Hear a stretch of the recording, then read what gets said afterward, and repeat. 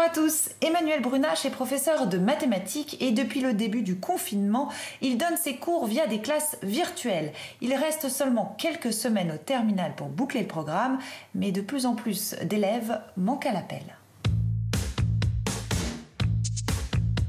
Bonjour à tous, merci d'être là et d'être connectés en mode audio comme d'habitude. Euh, donc aujourd'hui, on va faire un, sujet de préparation au bac. Je vous partage la vision sur Skype et je vous copie les liens sur euh, notre chat. Dès le début du confinement et la mise en place de la classe numérique, il y a quelques élèves qui ne se sont jamais connectés.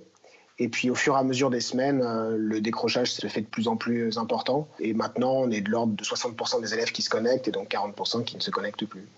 Pour la 1 Oui. Le, le P, c'est 60 Ils te disent que les lots font 60 pièces et qu'il euh, y en avait trois qui étaient défectueux. Donc c'est à partir de ces informations-là que tu dois calculer la fréquence de pièces défectueuses. Je rappelle que la fréquence, c'est un effectif sur un effectif total. Donc c'est combien de pièces défectueuses sur combien au total? Le bac sera basé sur le premier et le deuxième trimestre, comme les notes pendant le confinement ne comptent pas.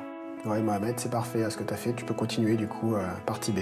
En revanche, le livret scolaire prend toute son importance. Les enseignants notent l'assiduité des élèves durant les classes à distance.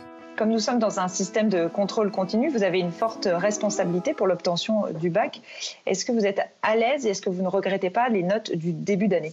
J'ai des notes des deux premiers trimestres qui sont bien plus faibles que les notes finales au bac des années précédentes. C'est lié au fait que je donne des devoirs un peu difficiles dès le début de l'année pour les habituer au type bac de fin d'année. Et du coup, les notes, euh, d'habitude, montent au fur et à mesure de l'année.